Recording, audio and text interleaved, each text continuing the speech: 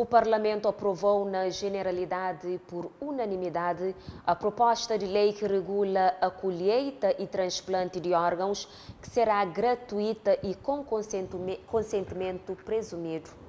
A medida, segundo a Ministra da Saúde, vai dar esperança a mais de 300 pessoas que fazem diálise diariamente.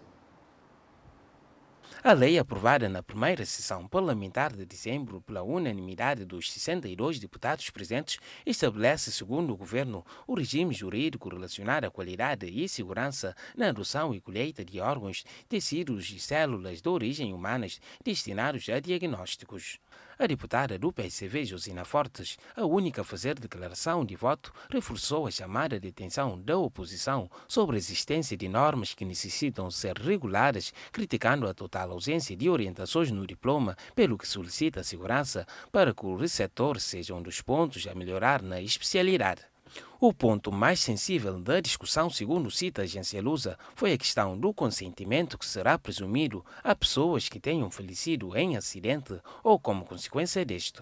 Por sua vez, a ministra da Saúde enfatizou que o principal propósito é salvar vidas, afirmando que a lei vai dar esperança a mais de 300 pessoas que fazem diálise diariamente nos dois hospitais centrais do país. Filomena Gonçalves disse ainda que a norma social vai promover o altruísmo, ter um maior leque de doadores e, na questão do consentimento presumido, vai diminuir o ônus familiar, salvar vidas e simplificar o processo administrativo. Durante o debate, foi levantada a possibilidade dos estabelecimentos estabelecimentos privados de saúde poderem realizar transplantes de órgãos, com a ministra dizer que o objetivo é que seja da melhor forma possível, com segurança e respeitando o quadro legal. Quanto à responsabilidade criminal, quem infringir a lei fica sujeito a pagar uma coima de 80 mil escuros a 1,2 milhões de escuros.